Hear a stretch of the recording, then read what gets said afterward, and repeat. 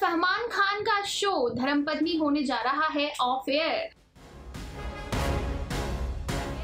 दोस्तों, बड़ी खबर सामने आ रही है धर्मपत्नी से। कहीं ना कहीं दुख भरी खबर है फहमान के फैंस के लिए, क्योंकि ये शो ऑफ़ एयर हो सकता है जून तक, ऐसी खबरें आ रही है। आपको बता दें, इस वक्त बड़े बड़े टीवी शो बंद होने की कगार पर है, जिसमें ससुराल सिमर का टू से लेकर दुर्गा चारू तक का नाम भी शामिल है।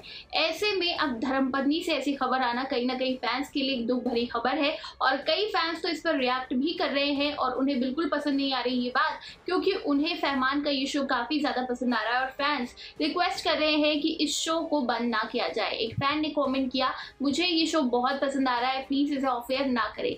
एक फ़ैन ने लिखा, ससुराल सिमर का टू कितना बकवास आ रहा है, उसे ऑफेयर कर दो, लेकिन धर्म मद्दी को एयर मत करो।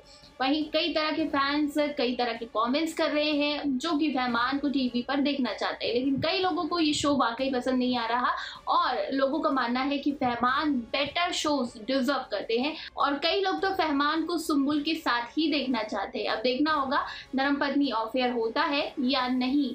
आपका क्या कहना है इस बारे में? नीचे कमेंट सेक्शन में ज़रूर बताइए। और इसी तरह की दूसरे अपडेट्स के लिए सब्सक्राइब करिएगा हमारे चैनल को।